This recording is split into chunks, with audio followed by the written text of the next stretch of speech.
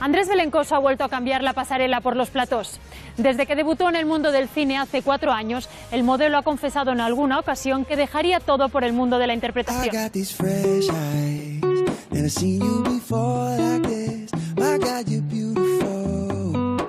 Comenzó su carrera como modelo por casualidad y por casualidad llegó también al mundo de la interpretación. Hablamos del top español Andrés Belencoso, cuya imagen y versatilidad le han convertido en uno de los rostros más buscados por las firmas de moda y los directores de cine.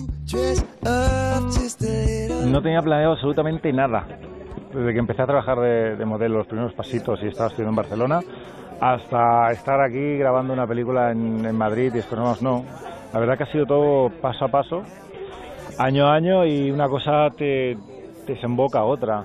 Lo de actora sí que lo tenía a lo mejor en la cabeza un poquito, a lo mejor no te atreves a dar el paso hasta que, que bueno, dices, mira, ¿por qué no?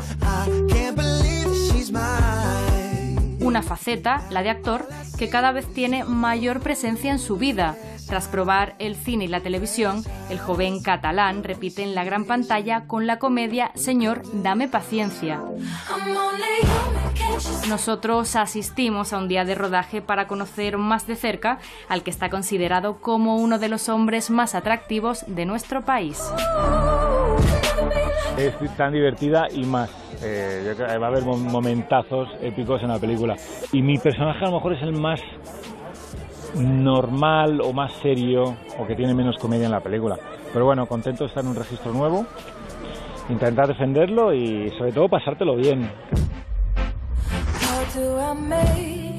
El modelo y actor nos cuenta que no solo interpreta un papel en el cine, también lo hace cuando se pone ante la cámara de un fotógrafo intentamos crear otros personajes a partir de nosotros, pero la moda que tú interpretas versiones tuyas, la versión más dura, más sexy, más elegante, o más dulce, o, más lo que te pida el fotógrafo. ¿Y cuál es tu versión para el trabajo? Bueno, mi versión, ah, pues depende del día. En esta ocasión su versión fue cálida y cercana, como quien charla con un amigo de cómo ha ido el día tras una larga jornada de trabajo.